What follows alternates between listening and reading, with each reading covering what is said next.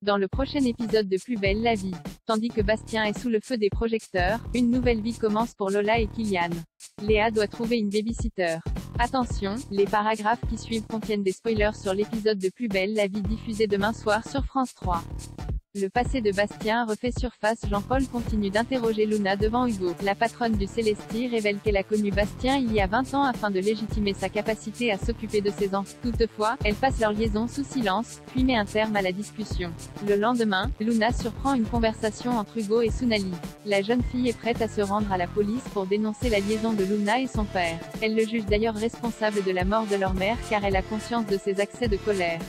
Elle rappelle à son frère que la dernière fois que leurs parents sont partis en mer quand ils étaient en Thaïlande, leur mère est revenue avec un poignet cassé. Hugo, quant à lui, reste optimiste et ne croit pas à sa théorie. Au commissariat, Eric retrouve Bastien en train de délirer dans son sommeil. Ce dernier est ensuite interrogé par Jean-Paul. Il soutient qu'il n'a pas tué Elodie et qu'il ne se rappelle pas de ce qui s'est passé sur le bateau. Quand Jean-Paul retrouve ses collègues, il n'a aucun doute quant à sa culpabilité, contrairement à Ariane. Le capitaine Bauer reçoit des nouvelles d'Interpol qui l'informent que Bastien a fait un mois de prison à Bangkok pour suspicion de meurtre sur un touriste anglais. Rebelle décide aussitôt de prolonger sa garde à vue. Quand Luna l'annonce aux enfants, ceux-ci se disent. Pablo fait une crise d'angoisse et s'écroule par terre. Thomas et Kylian se rapprochent. François se fait berner par Thomas qui le retient exprès pendant que les ados partent au lycée, leur évitant ainsi de travailler au bar avant les cours. François se plaint auprès de Roland des méthodes laxistes de son frère.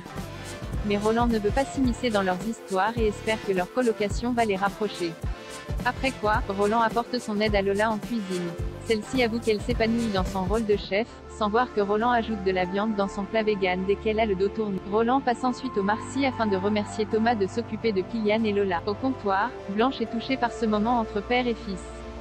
Elle en profite pour savoir pourquoi Kylian était absent en cours. Thomas prétend qu'il était fiévreux et qu'il a oublié de la prévenir. Thomas parle alors avec Kylian pour savoir ce qui ne va pas. L'adolescent avoue qu'il souffre de l'éducation très stricte de François.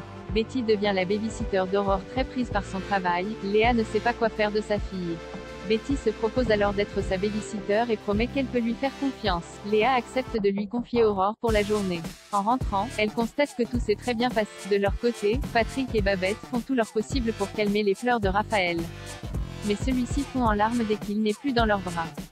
Patrick pense qu'il a peur de l'abandon. Babette et lui prennent donc le temps de le rassurer, puis le déposent dans son couffin.